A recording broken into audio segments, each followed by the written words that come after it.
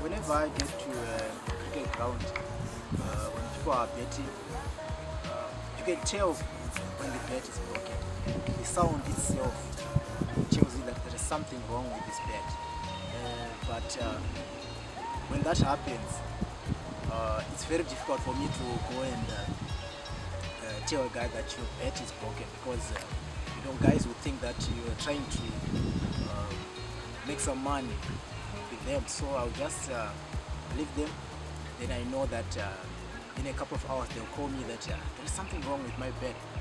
And um, I remember at one occasion when uh, Ryan Burl was betting at his sports club, he broke his bet. But he just checked the bet. And I told the guys that I was uh, sitting with that uh, his bet is gone. Tomorrow or today, before the end of the day, he's going to bring it. And uh, before the end of the day, surely he brought it, and uh, the endo was gone. And uh, I replaced the endo, and he was happy.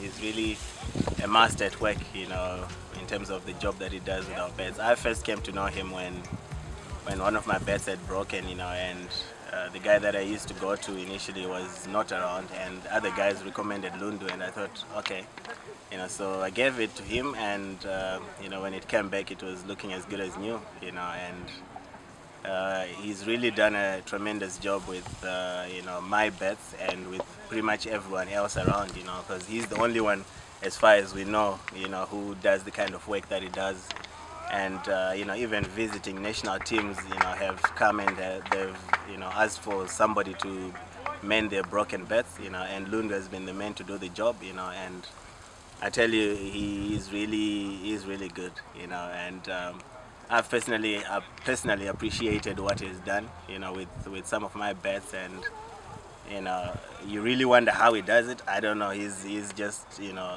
a genius with his hands. You know, um, at times you give him a you know a bet that's really open, wide cracks, and it comes back as good as new. Cracks disappeared, you know, nice and strong, and you wonder how does he do it. I don't know but uh, you know we certainly appreciate having him around and you know doing the, the work that he does for us and um, you know there would be a whole lot of beds just lying around if it wasn't for, for Lundu. Sometimes I charge at that same time, but uh, um, uh, especially looking at this bet, I got it from Tawanda Mupariwa.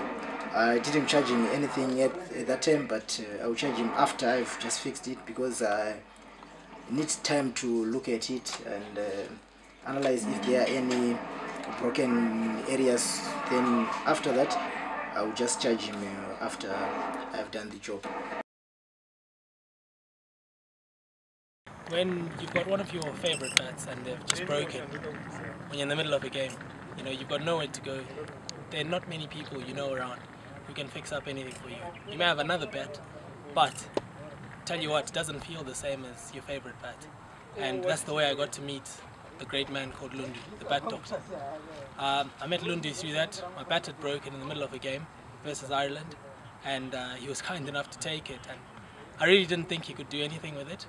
But as soon as he took it, uh, overnight he fixed it and he brought it back. And tell you what, it felt exactly the same. Uh, there's nowhere else I'd want to take my bat. I've had other guys look at them and try fix them, but I don't think there's anyone around who's better than Lundu.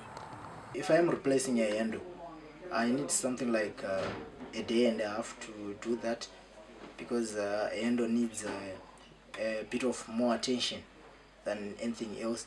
So replacing a endo, I need something like a day or so. Uh, but some other um, damages, I will just take them even uh, half a day, then I'll, I'll be through with it. Uh, looking at this bed I got it today. The guys are in the middle of a four-day match. They want to use it tomorrow. So by the end of the day today, I will be done with it. Then I will go with it tomorrow. They will be using it to be ready. I've got new bats, but I like using my favorite bats. So when they break, I still use those. I send them to Lundu. Lundu does a great job, and then I still use them. If you walk into our changing room right now, especially majority of the guys, they'll probably have new bets that they would have just received from their sponsors, but they carry on using the older bets that are, you know, half broken, but they still want to use those because they're their favorite bats. So it's just a matter of what you're comfortable in. And for me, if I have a bet that I really like, and if, if it breaks but it's not really that bad, I send them to Lundu and then carry on using them. I normally use a cheese, a hammer, and um, a vice grip, but um, uh, a grinder would be useful to use. But uh, I do, when I don't have a grinder, I'll just use those tools: a cheese, a hammer, and a, uh, vice grip. And when um, let's say if the base crack on the back, I'll just use a chisel and a hammer and a bit of string to tighten it up to just compress it. Then I think those are the main tools that I usually use when I'm doing my job. Yeah, when you are repairing these things, there are some beds um, which are beyond repair. If you are to look at uh, the bet uh, which you, Smith Banda used in maybe it was in 2008 I think when they were playing against West Indies when he was given a Yorker um, that bet there's nothing we can do about it. We can even look at uh, something like this. This was uh, Tinotenda Mutombodzi's bet. It was broken on the half but um, there is nothing we can do about it but we can just use the endo to put it on another bed.